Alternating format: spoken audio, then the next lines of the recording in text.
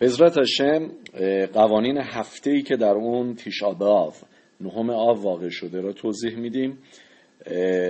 خب از ابتدای ماه آو شادی را کم می‌کنن. همونطور که خخامی میفرمایند میشه نیخن از آو معتین به سیمخا. از زمانی که ماه آو واقع میشه شادی باید کم بشه. ولی هنوز محدودیت ها سبکتره. به عنوان مثال میشه موها را کوتاه کرد. و یا آرایشگاه رفت یا ریش را زد. ولی در هفته که تیشاباف در اون واقع شده دیگه آرایشگاه رفتن و اصلاح کردن سر و صورت ممنوع هستش. بنابراین قبل از اینکه هفته شروع بشه در عرب شبات آدینه شبات مجاز هستیم که برای کابود شبات اصلاح بکنیم و در این مورد ممنوعیتی وجود نداره. این ممنوعیت که ممنوعیت اصلاح سر و صورته فقط برای آقایونه.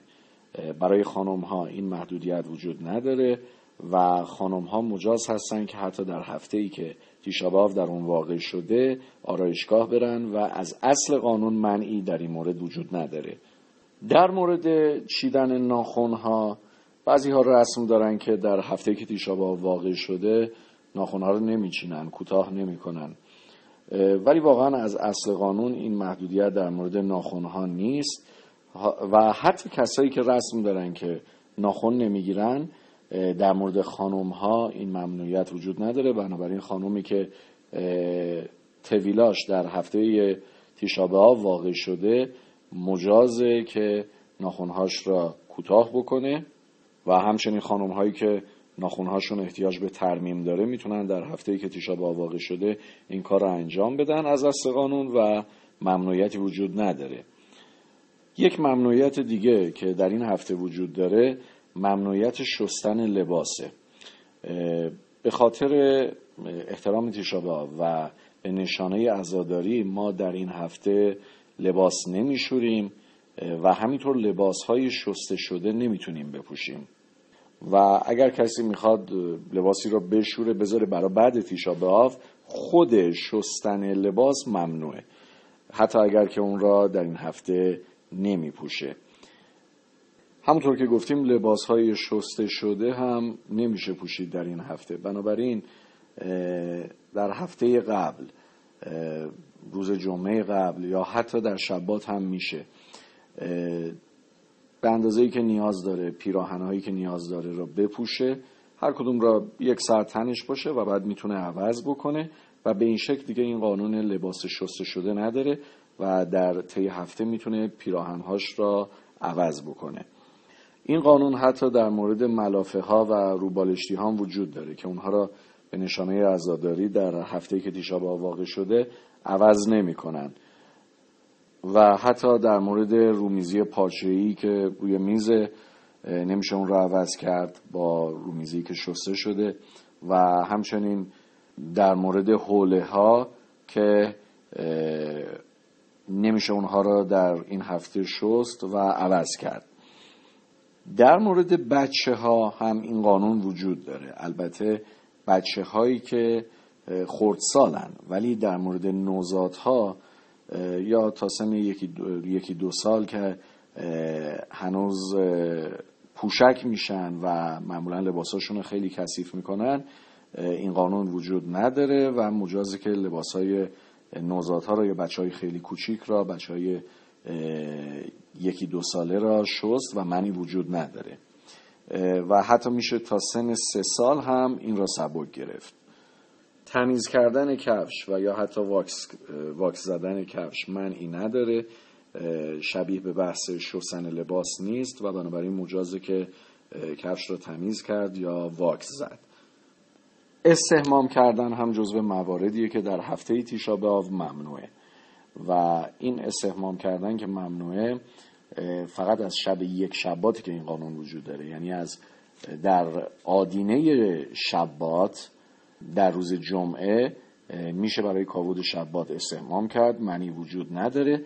ولی دیگه بعد از اون این ممنوعیت واقع میشه و حمام رفتن با آب گرم و یا سونا و جکوزی منع داره.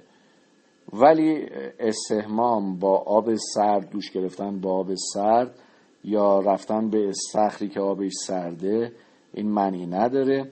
در مورد تویلای خانم ها در میقوه حتی اگر آبش گرمه. با توجه به اینکه برای میسوا هستش این تویلا معنی وجود نداره. برای اشخاصی که خیلی مشکل با آب سرد استهمام بکنن مجازه که یه مقدار شیر آب گرم هم باش باز کنن. جوری که نه اینکه اون آب گرم باشه و حالت عادی داشته باشه بلکه یه مقدار اون سردی آب گرفته بشه ولرم بشه. ولی سرتر از اون حالت معمول باشه و به این شکل میشه با توجه به اینکه نیاز به استحمام هست و در این روزها هوا خیلی گرمه سبک گرفت و با آبی که کمی ولرم شده اونقدر گزنده نیست و سرد نیست استحمام کرد. همونطور که گفتیم رفتن به استخری که آبش سرد منی نداره همینطور در مورد دریا رفتن به دریا منی نداره. البته مسافرت های تفریحی را در این ایام سخت می‌گیرن و همونطور که گفتیم از ابتدای ماه آو از شروع ماه آو ما شادی را کم می‌کنیم. افرادی که بیمار هستن و نیازه که با آب گرم استهمام بکنن یا کسایی که خیلی حساس هستن و اذیت میشن و یا مشکل پوستی دارن ناراحت میشن اگر که استهمام نکنن برای اونها این ممنوعیت وجود نداره. می‌تونن در این هفته بر طبق دستور پزشک استهمام بکنن. به خاطر اینکه فقط استهمامی که آدم لذت می‌بره و برای تعنوگه معنا داره. ولی وقتی که به خاطر بیماری و ناراحتی باشه اون معنی نداره. خب از ابتدای ایام بن ساریم یعنی 17 تموز این رسم وجود داری که دیگه لباس نو نمی‌خرن و نمیدوزن. در این هفته قانونش سختره. یعنی دیگه رسم نیست و از اصل قانون دوختن لباس نو معنی داره ممنوعیت داره. و همینطور خریدن لباس و یا کفش در این هفته از اصل قانون ممنوعه. اما فرض کنید دمپایی با توجه به اینکه اهمیتی نداره و انسان را شاد نمی‌کنه اگر نیازه مجازه که خریداری بشه به خصوص اگر می‌خوان در تیشاباو استفاده کنن چون در تیشاباو پوشیدن کفش چرمی ممنوعه. و در نهایت اینکه خب می‌دونیم که از بعد از رشد خودش اول ماه آو دیگه غذای گوشتی خورده نمیشه ولی شبات استثناست. در شبات به صورت عادی آدم غذای گوشتی می‌خوره هیچ معنی وجود نداره. و از اصل قانون غذاهای گوشتی که در شبات پختش برای شبات پخته شده و باقی مونده را آدم در طی هفته هفته تیشاباو می‌تونه استفاده بکنه.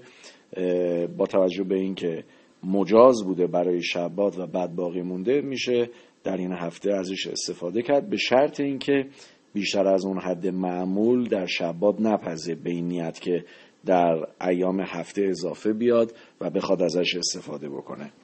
انشالله که حق بارخو این ایام را هر چه زودتر برای ما به ایام شادی تبدیل بکنه. ساسون به سیمخا قیبوس گالویات بیاد مشیخ سیدغن و بیمرا بیامن و آمن.